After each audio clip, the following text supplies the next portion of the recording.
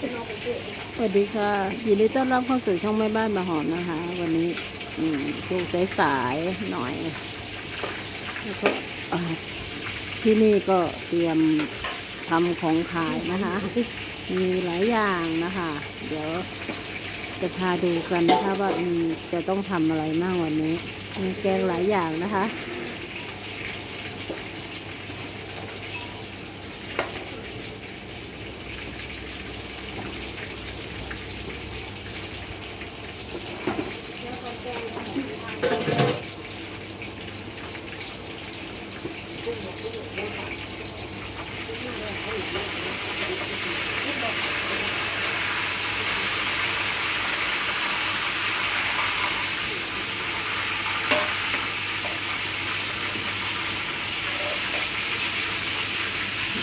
คนเสื้อสีส้มๆแล้วพี่สาวนะคะเนี่ย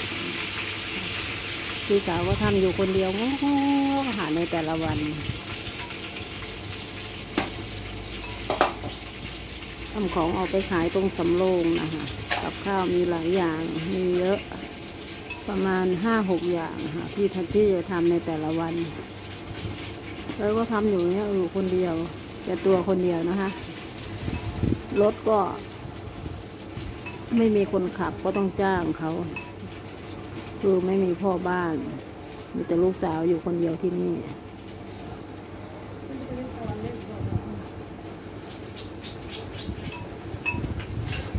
ในหม้อใหญ่ๆแหละต้มเอ่อเครื่องในอยู่นะคะเครื่องในมันเป็นเครื่องในเป็ด เตรียมไว้หั่นจะทำลาบเป็ด วันนี้มีเมนู เมนูมันมีเมนูหยังก่อนมันมีต้มไก่บ้านแกงเห็ดลาบเป็ดลาบปลาดุกวันนี้มีไอ้ไอ้แกงเห็ดนะคะ แกงเห็ดฟาง มีลาบเป็ด ลาบปลาดุก สามสี่อย่างนะคะ วันนี้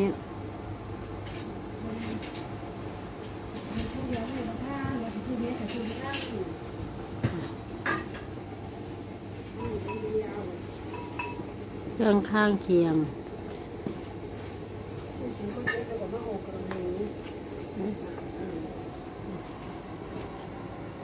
ปลาทูนะคะปลาทูปลาทูตัวใหญ่ๆอ่พี่สาวทอดให้กิน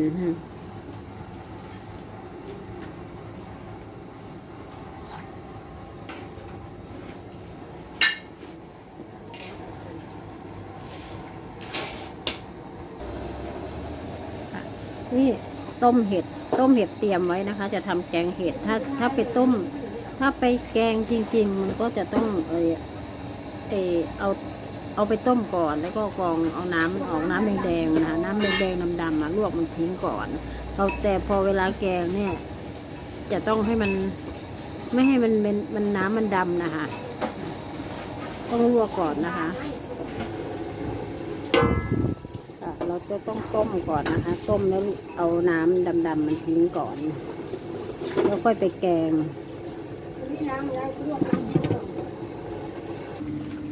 วันนี้จะมีเมนูกินเมี่ยงยวนนะคะอันนี้เมนูเมี่ยงยวนพี่สาวก็ทำให้กิน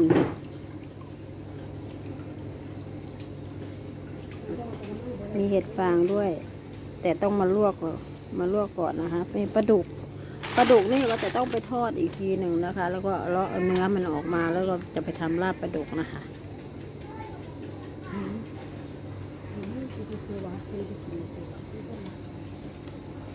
นนี้ต้มต้มยำไก่บ้านนะคะ ใส่เห็ดฟางด้วย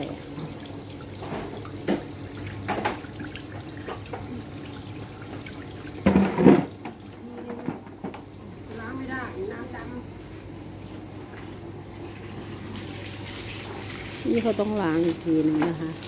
ฟางมันจะได้น้ำมันจะได้ไม่ดำลวกเสร็จเราค่อยล้าง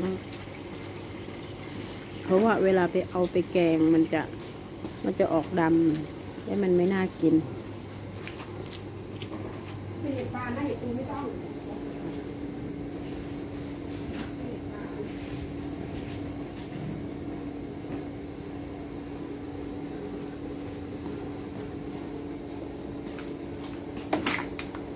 เมนูแกงเห็ด